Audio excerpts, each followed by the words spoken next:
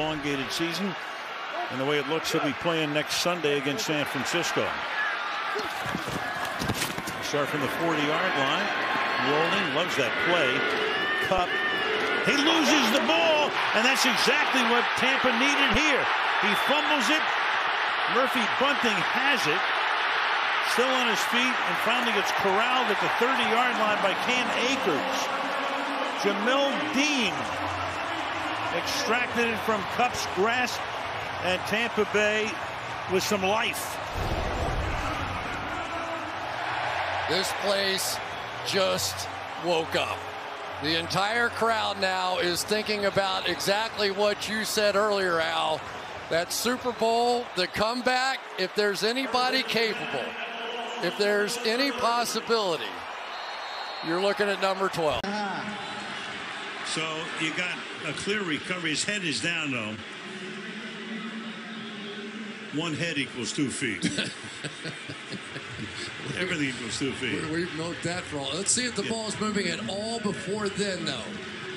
Terry McCauley, what are you seeing? Al, it looks to me like that ball starts to move just before the head touches the ground, making it a fumble and a clear recovery. I agree. I thought it was moving too. Of course, no challenges inside two minutes, but they're looking at it. Brady starts from the 30-yard line. Look out from behind. Ball is out. Strip sack there by Von Miller. And the Rams have it.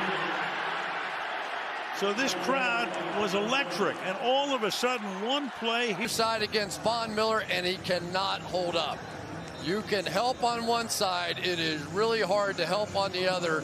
And what a difference Von Miller has made to this football team. Came over with that sprained ankle, but healthy. Big break back, and then they have a snap over the head of Stafford, and the Bucks are going to pick it up. JPP at the 46-yard line of the Rams. So Allen snaps it way over Stafford's head. Rams get a takeaway. Bucks going to take away right back. Stafford had no idea this ball is coming. He's looking to the right, and there it goes, right by his head. The crowd noise, despite the fact that they had just blown it on their. Akers. Oh, he lost the ball!